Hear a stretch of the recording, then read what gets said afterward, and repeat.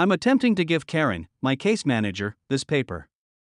If I were a black lady who was enraged, things would have become violent. The prime time of Steve Harvey looks to be quickly coming to an end.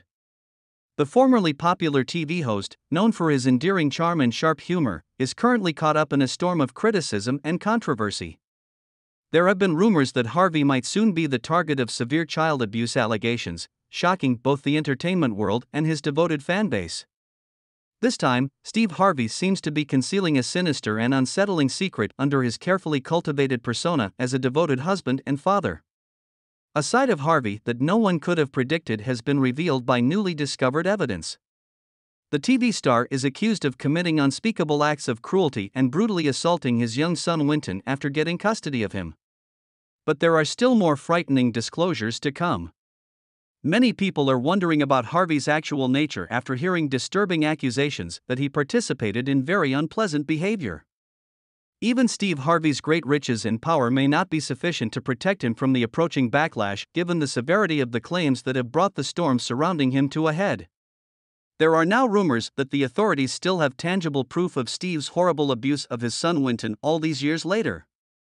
There is no space for doubt or speculative thinking now that this shocking news has shocked the public and the entertainment industry alike. About that. What was she there for, ma'am? She was present because she had to. A commitment? What do you mean? Which day did she attend? A dedication. On 2012 12 19 2013, you reside here the 19th of December 2013. Why do you say that?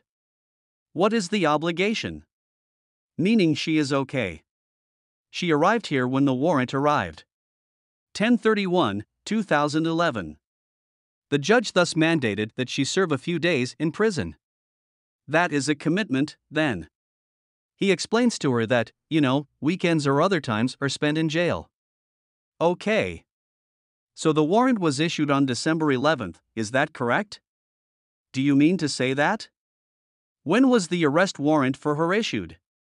Due to the fact that she had court on December 19th. She was thus held there.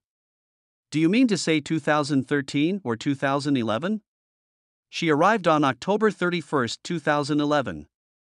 Due to his wealth and influence, Steve Harvey may be able to escape danger and as the weight of the evidence against him mounts, he seems to be breaking down. Not this time, though.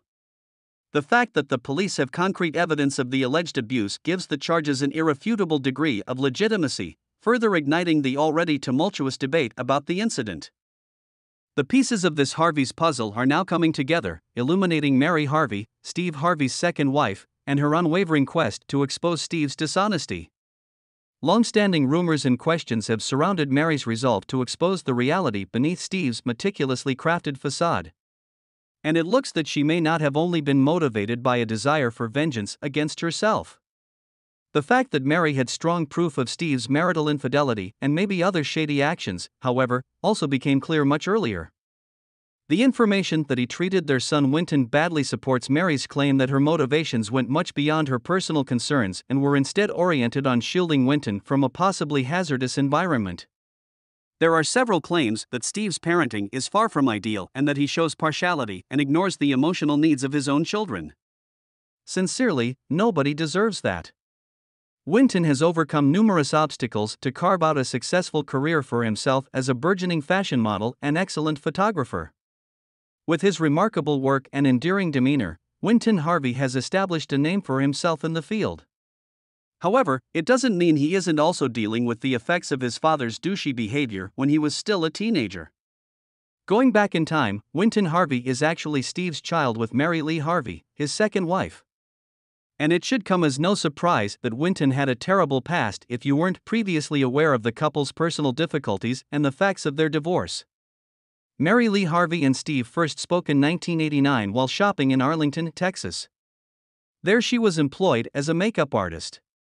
But the couple quickly got hitched in 1996.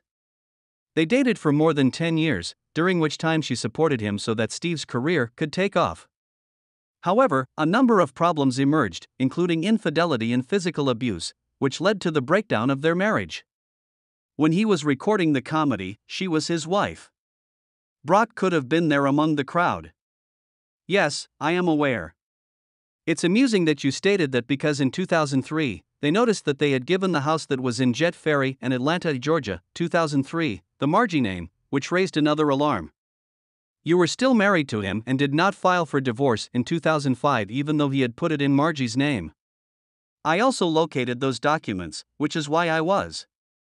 So, so, after that, were you able to find out what automobile y'all lacked using that number? What is its name? Back then, there was no track car, recall, or anything like. When you heard it, did you even question Steve about the phone call? How is this referred to in my household as well? Exactly who was on the phone? Because no one has our personal number. But perhaps. And you do. Then what? This young lady receives our home's phone number. What say you? Well, I'm not sure. Babe, I'm not sure. I have no idea what you're referring to. I'm not sure where she acquired the phone number. What he said was that. Yeah. After their divorce, she started filming YouTube videos to get additional supporters in addition to the custody dispute. According to Mary Lee Harvey, Steve Harvey was not just unfaithful but also physically and emotionally abusive. This would have definitely escalated into something that doesn't represent who we are if I were a furious black lady. If I had been enraged, the divorce's real window would have been the best opportunity for me to strike out. It has definitely taken me a long time to gather my strength in order to feel better, to recuperate, and to deal with the overall situation. Additionally, it is not a heated dispute between two persons. These comments eventually served as his breaking point. Steve Harvey filed a case in court to stop the slander she was now disseminating. He said that because her claims were unsupported by evidence, they were unjustified. But Mary Lee still made Steve public despite that. This divorce drama gained not just media attention but also became a popular conversation subject. People accused Steve Harvey for fostering a hostile environment and showing little concern for his eight year old son Wynton. Okay, folks. I'm attempting to give Karen Smith, my case manager, this paper.